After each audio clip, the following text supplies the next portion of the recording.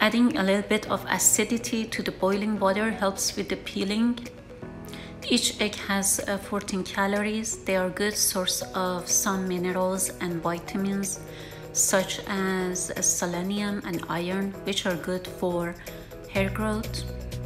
They are a good source of uh, protein and riboflavin and choline.